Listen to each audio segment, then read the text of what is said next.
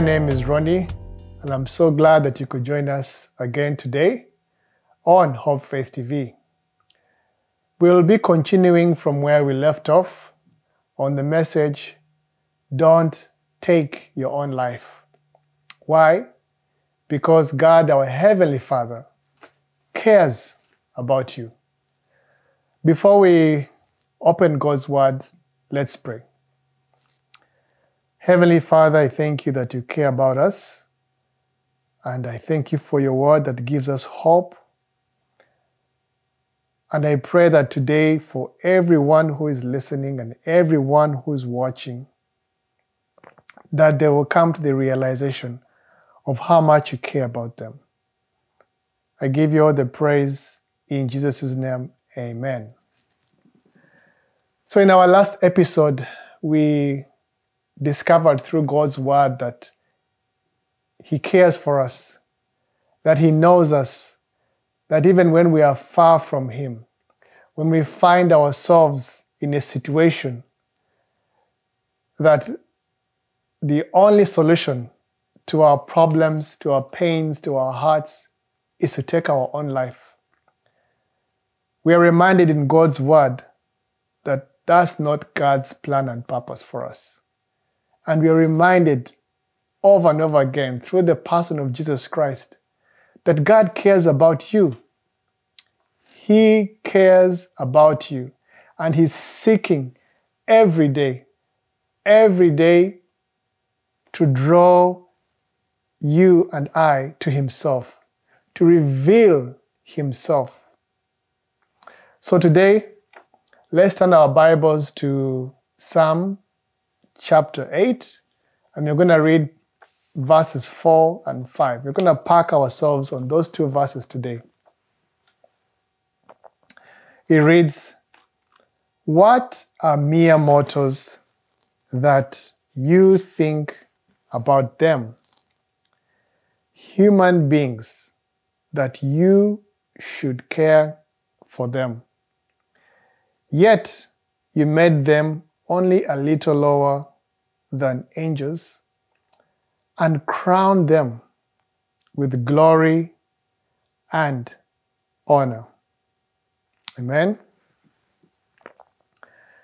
So in verses 1 to uh, 4, David is looking at God's creation. And he's comparing God's creation to who he is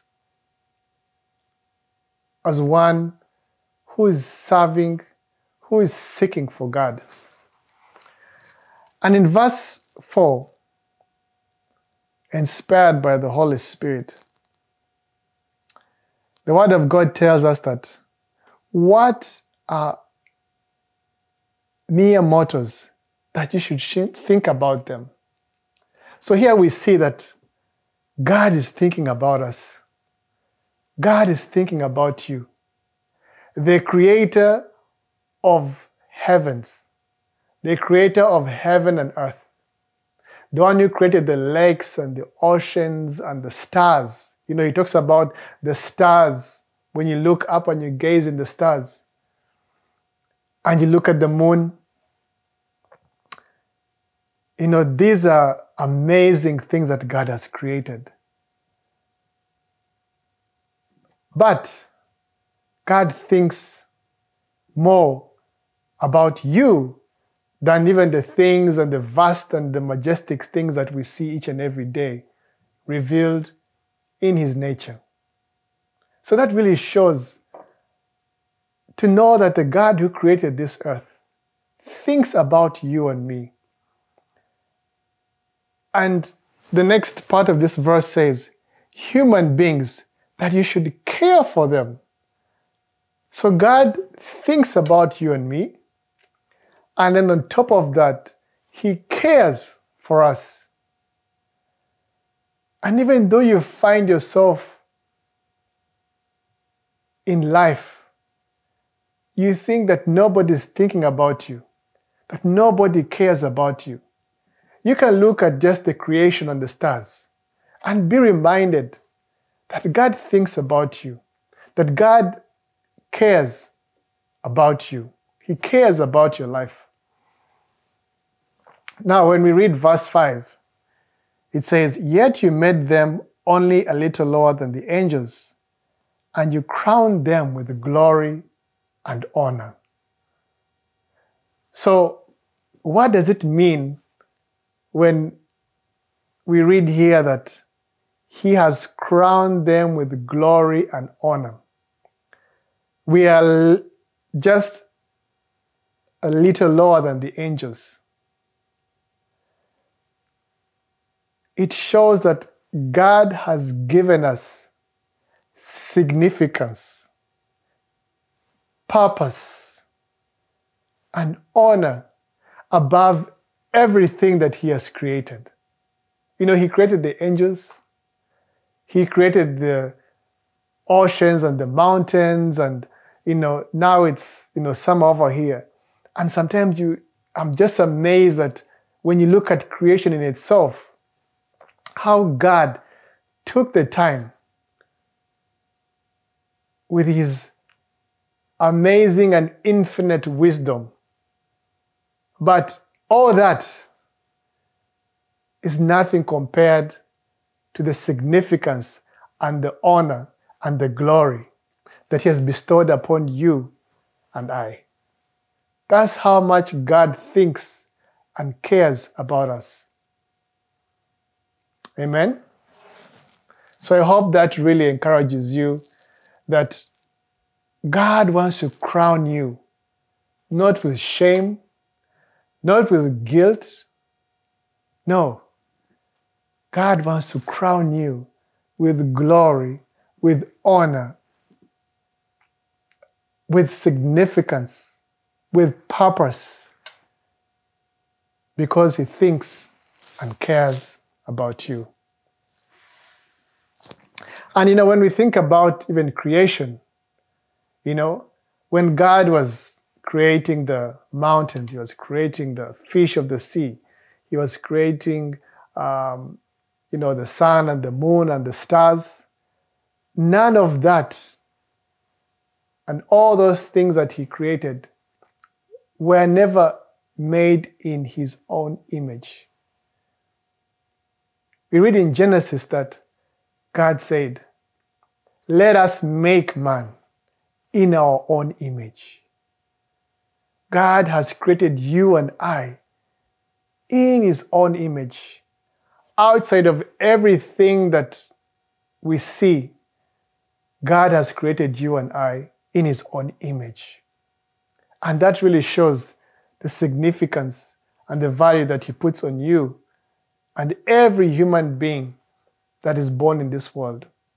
So remember that.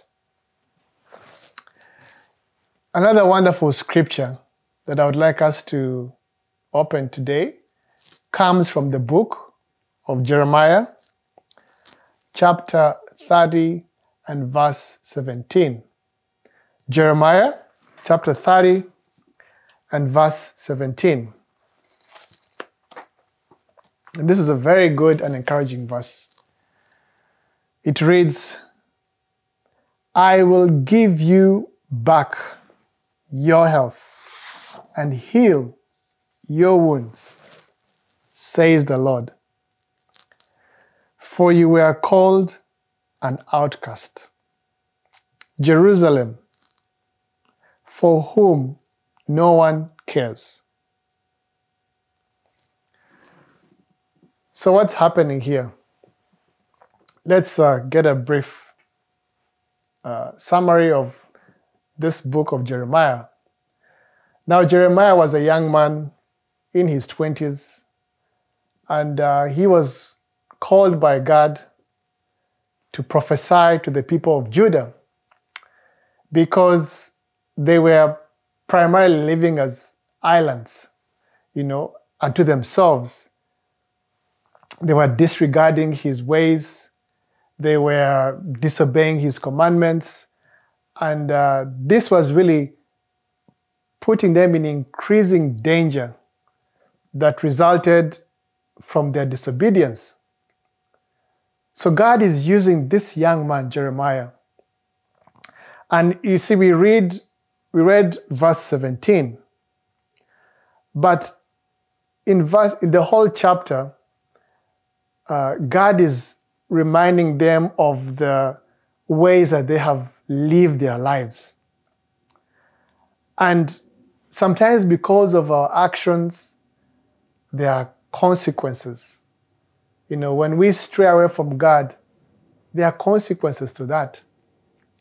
But because of God's mercy and His grace, even when we stray away, He's a voice that is crying out in the wilderness, just like John the Baptist, bringing us closer to Himself, bringing us closer through His Son, Jesus Christ. And so we see here that God promises through Jeremiah that his people will know him directly, that his people who are suffering, that his people who have walked away from him can come through the person of his son Jesus Christ to know that he cares and thinks about them. So, what was going on here? God is telling the people of Judah, I will give you back your health. Now, the Amplified says, I will restore health to you. God cares about your health. He cares about your health. He cares about your mental health. Maybe you're going through a mental health crisis and you're saying, God, restore my mental health. Maybe you're going through a physical challenge. Maybe you're going through a sickness that has been diagnosed in your body. And you're saying, God, restore my health. Restore my health. I don't know how to live through this pain every day. I don't know, God, how I'm going to live with this sickness every day. God wants to restore you. He wants to restore your health back. He wants to give you joy. He wants to give you peace.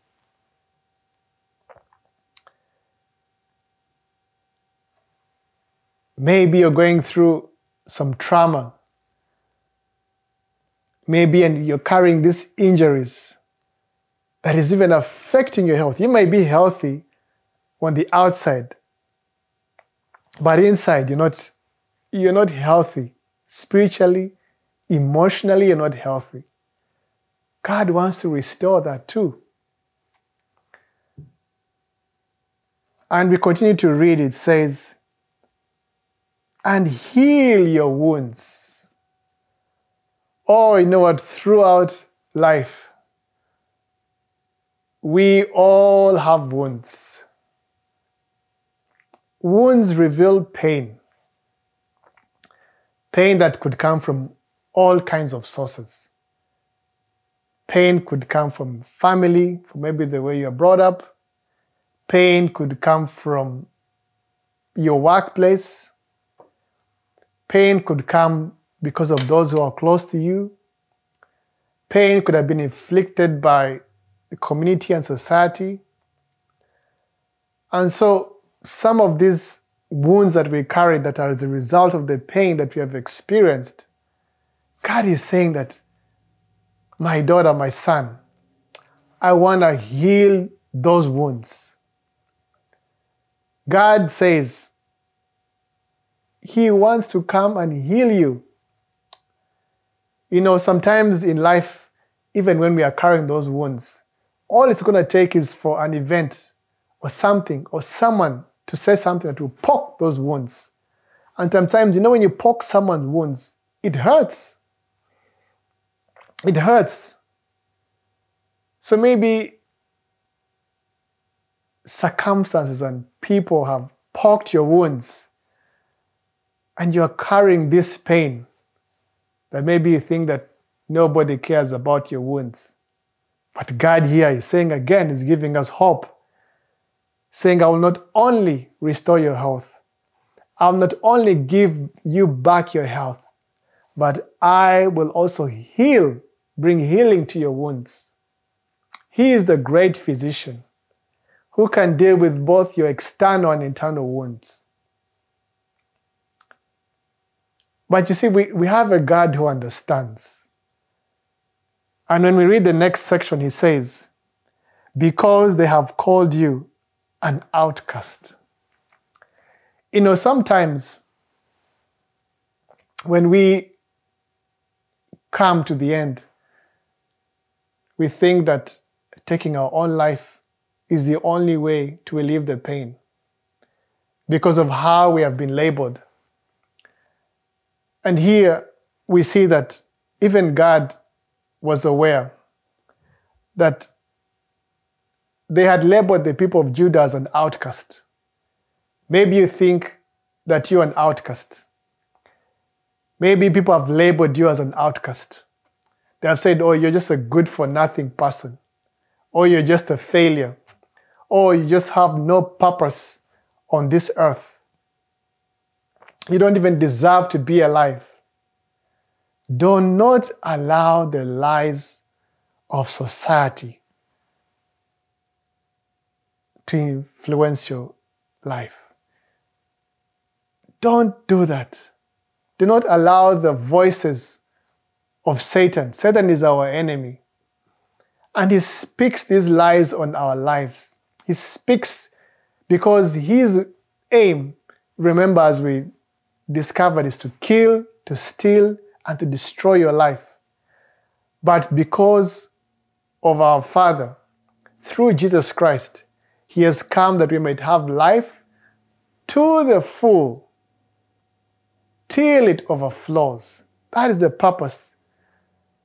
That's the purpose that God has for your life. So even though you have been called all these names, you have been labeled all these names. God is saying here that He understands. He understands. And even He says, in the last part of that verse. He says, Jerusalem. Maybe you can put your name there. Sometimes I've had to put my name there. Ronnie, for whom no one cares. Ah, God, you're aware of that. You are aware of what I'm going through. Oh, I'm so grateful that we have a God who understands. I'm so grateful that I have a God who knows that even with all that I've been labored with, called, when I think that no one cares, God actually knows those details. That's the God we serve. And so we continue to read in Jeremiah chapter 30, from verse 18 to verse 20. Let's see now what is God's promise for you when you find yourself when you find yourself with no hope saying that Ronnie, I want to take my own life. Hear God's plan for you. He says, This is what the Lord says. When I bring Israel home again from captivity, and restore their fortunes. Jerusalem will be rebuilt on its ruins and the palace reconstructed as before. So we see God's plan for you. When you find yourself thinking that no one cares, when you find yourself thinking that you're an outcast in society, God is saying He wants to bring you home again. Oh, what a loving Father. He wants to bring us close to Himself. He wants, you know, home is the place where He wants to say, Hey, my, my son, my daughter, come home. Come home to me. Come home again. He says again. You know, you may be thinking that you've gone far away from God so many times. You've strayed away, you've disobeyed God. There is a reason why He's saying again. God doesn't give up on us. when we stray away, He says, Okay, my son, your daughter, you've failed. You've failed in this area. You've maybe you've done some things. You're walking with shame. He's saying, Come, come to me. And He wants to bring you. This is why He says, When I bring Israel home from captivity, from that thing that is holding you, you know, you find yourself powerless and you think that taking your life is the only solution. No. God is saying, Come home to me. He wants to restore you. He wants to restore your health. He wants to heal your wounds. And he says, Jerusalem will be rebuilt on its ruins. You know, I was really struck by that. He doesn't say Jerusalem will be built on something new, but God can build your life even where you are right now. Even when you think that in your state you have no hope, God is able to rebuild your life from that place where you are, that dark place where you are. God says, rebuild on its ruins. You know, when you, when you look at when buildings come down in during construction, you may look at a building site and be like, it's just ruins. Everything has collapsed. There is, there is no hope that anything can be built here. But God says, ah, I can build something there. You may be looking at it as ruins. You may be looking at something helpless, something hopeless. But God, in His power and in His sovereignty and His love for you and I, is able to build on those ruins. And verse 19 it says, There will be joy and songs of thanksgiving. I will multiply my people, not diminish them. I like that. I will honor them not despise them. That's God's promise for you. God wants to multiply your life. He wants to give you joy and peace. He doesn't want to diminish you. Even though you may think you've been despised by society, despised by friends, despised by family, God is saying, I will not despise you. That is his word.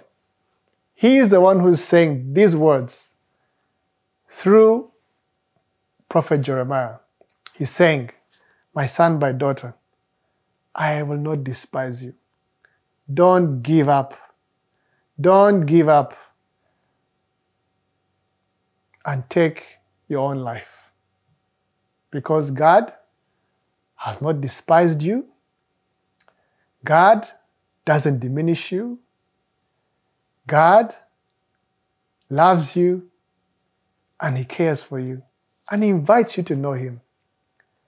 So, how does God invite us to know Him? Through His Son, Jesus Christ. When we look at the life of Jesus, though we fail, God is patient with us.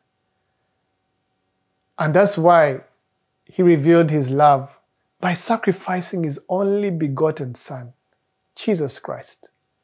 He took all my shame, he took all your shame. Anything you can think of in the past that you don't even want to look back, it was all covered at the cross. It was all paid for at the cross. And so God invites us every day through his son Jesus Christ. But maybe you haven't accepted Jesus Christ. And if you haven't, I would like to give an opportunity and pray today. Let's pray together. Heavenly Father, I thank you that you love me. I thank you that you sent your only Son, Jesus Christ who died for me, and you showed me your love because you care about me, because you think about me. I repent of my sins, and I come to you, O Lord. Help me. Forgive me. I accept you, Lord Jesus. I accept you into my life today to be my Lord. And I thank you for dying for me and giving me hope today. In Jesus' name I pray. Amen. If you have prayed that prayer, welcome to the family. God loves you. It's a new journey. God has a great purpose for your life. And if you want to get to know more about Jesus, here at Hope Faith TV, we encourage you to read the Gospels of Matthew, Mark, Luke, and John. God bless you. Thanks for joining us today. Remember that you are really valued by our Heavenly Father. Choose to follow Christ because He's the only one who can set you free. To know more about Jesus, we encourage you to read the Gospels of Matthew, Mark, Luke, and John. Remember that we share our messages in English, French, and Swahili. Connect with us on our Facebook page, follow us on Twitter, and stream our videos on YouTube. You can find the links to these pages at the bottom of our website. Until next time, have a blessed day.